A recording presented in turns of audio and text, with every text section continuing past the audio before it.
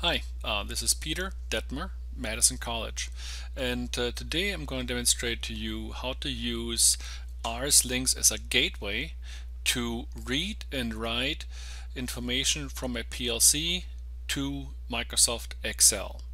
Um, so let me quick explain my setup here. I'm running a Logix 5000 emulate. There's a processor in slot 1. I created some code in Studio 5000 that uh, um, basically a free running timer that uh, you know every 1500 milliseconds increments with the done bit coming on a counter value. Um, also have a retentive timer that keeps track of the total runtime um, of this uh, environment. Uh, further down I'm moving some values from the timer accumulated value into an array and also the accumulated value of a counter into an array. This last instruction, GSV, is a get system value. Here I'm pulling the wall clock time and the attribute of that is the date time portion I'm interested in. I'm moving that into the GSV CTU array starting in element 0. So uh, my element 0, if you go and look at the tags here, uh, you can see element 0 is the first element. The first 7, 0 through 6, are used to pull the date timestamp from the processor. 7 is going to be used for the accumulated value of the timer and 8 for the counter accumulate value. And uh, on the Excel side, um, which we're going to get to in a second, I have uh, some code created uh, and links created uh, that allow me to read information from these values and also write information into these values. Uh, so the very first thing you have to do is, is an RSLinx gateway. You have to set up a DDE topic. Uh, I've did this previously. I'm going to show you just what I have here. You can see this FTV Lab 1. It's currently locked because it is in use by Microsoft Excel. Uh, but the way you set it up is you just uh, can create a new lab if you want to, a new topic, and you point it to the processor where the data lives. Uh, on the data collection side then you specify the processor type and how frequently the data should be pulled. So for me that's one second. Um, the very first thing you can do is to try and see that you have a valid connection um, and data is you can use the edit link and copy the DDE OPC link. When you do this, we get this copy DDE and it's using RSLinx as an OPC server. You can find the topic that you created earlier, which is my FTV Lab 1. Uh, I'm online, I already downloaded my project earlier and when I click through you can find the tags inside my processor and uh, for example I'm using uh, the CTU accumulated value. So if I select this now and simply close, it will copy and paste this into memory. So I'm going to do this. Then I'm going to open up Excel. You can see it's already developed. I'm going to go into what these different areas are later. But if I click on any field and go to paste and special and select paste as a link, it's going to put this value in here and up here you can see using RSLinx this topic pull this tag information and write it in length 1 and uh, um, C1 uh, since it's currently 0 it's showing 0 for it uh, I've done this uh, previously so I have the same setup here if I click on this cell, you can see it's the same link to the same piece of information in the PLC.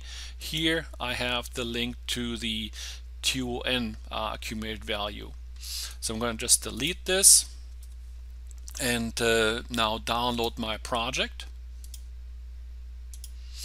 And you can see everything is zero right now. Um, I have a uh, internal bit here that prevents the timer from uh, starting to run.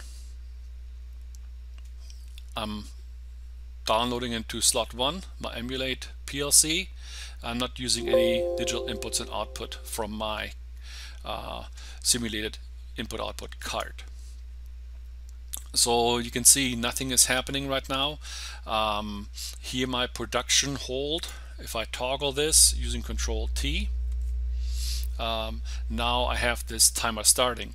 And you can see the accumulated value in Excel is starting to uh, change. Uh, the RTO is not updating yet. That's because the timer is done because I have no preset in here so just like I was able to uh, pull information in real time from the PLC I can also write information to the PLC so I'm going to explain what I have here later but uh, this field um, is a value. It's going to be written into the preset of the TON. Uh, one bit, uh, one tag. This is uh, the preset for the counter uh, CTU1. So I can make these values up however I want to. And uh, um, then click my set pre button. And you see over here these values are written into the fields. So here's my preset and here's my preset for the counter. Uh, you can see the timer isn't timing it because it was done. It never got reset. So what I can do is I uh, have a bit here an internal bit called reset uh, which is tied uh, to this button I'm going to explain what this button uh, is made up of so if I write a 1 in here as a bool, I can click reset that turns my bit on, which resets my accumulate value in both timer and counter. Then release it by putting a zero into the field and pressing reset again. And now you can see I'm accumulating data in my Excel spreadsheet in real time. Now that is something that uh, uh, is good to test that you have connectivity and everything works, but it's probably not really what you want to do. Typically in an industry setting you want a snapshot. You want to create a uh, uh um, timestamp and then a value at that time. So I have a separate button here that will pull the year, month, day, hour, minute, second, and millisecond, as well as the current count value and the current time value from this uh, PLC project. And uh, real quick, the way this GSV is set up is, again, here's my wall clock time. Uh, the date time portion is being pulled, and you can see here, you have to put the first element in as a destination. If I go into my controller tags and show you this, here is my 2020, uh, April 24th, um, and this is hours 1600 minutes seconds and milliseconds and here's my current uh, value for the uh, counter accumulate value and here for the timer accumulate value.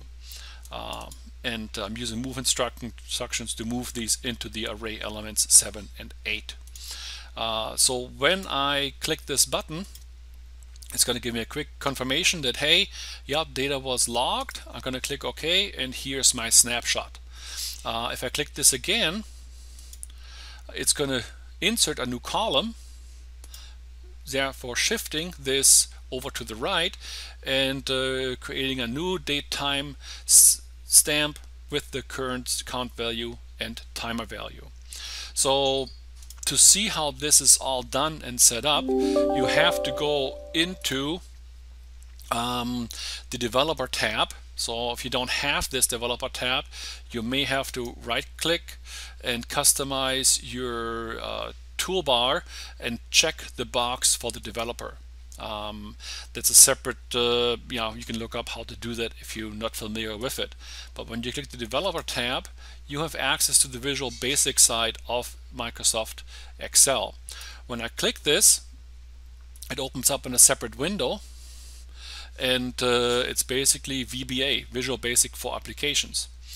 And uh, when you create these buttons, you have the option of uh, uh creating a, uh, a, link through the app, which is RSLinx, to the topic, which is my FTV Lab 1. And then, uh, you know, you can uh, say what is it you want to write to in this project. And I want to write to the ton1.pre. Then you say, what is it you want to write? Going to say, look at my worksheet, sheet 1, and then field B14. So if we look at uh, my Excel spreadsheet here, uh, here is 14 and it's column B and B16 you can see is referenced here I am opening up the connection again every time. You didn't have to do that, but uh, I'm writing to this DDE, yeah, data item uh, from this worksheet 1 field B16.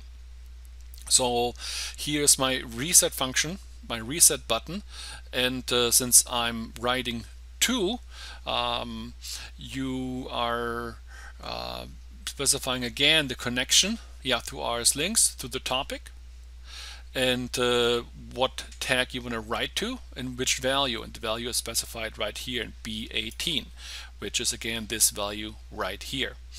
Uh, then the uh, button that allows me to collect data collect information is this collect data uh, command button uh, so here um, is uh, some commenting um, I want to first insert a blank column so that's just a simple Excel VBA command uh, and the you know inserting at K1 and they're going to insert the entire column. Then I want to pop up a message that says data logged. Uh, then I want to open up the DDE link to Excel. And uh, again, this is my RSLinx FTV lab 1.